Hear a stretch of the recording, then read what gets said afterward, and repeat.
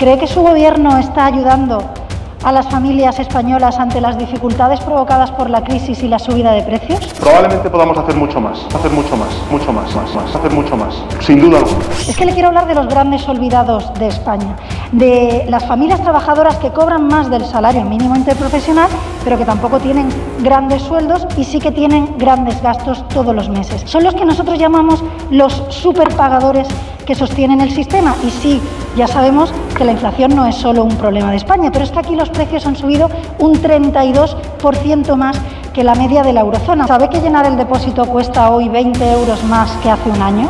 ¿Sabe que el alquiler de muchas familias en el mes de enero ha subido 50, 80 o incluso 120 euros por la inflación? ¿Ha ido usted recientemente al supermercado a comprar y ha visto cómo han subido los precios de la carne, del pescado, de la fruta o de la verdura? Mire, yo le voy a hacer tres peticiones muy concretas.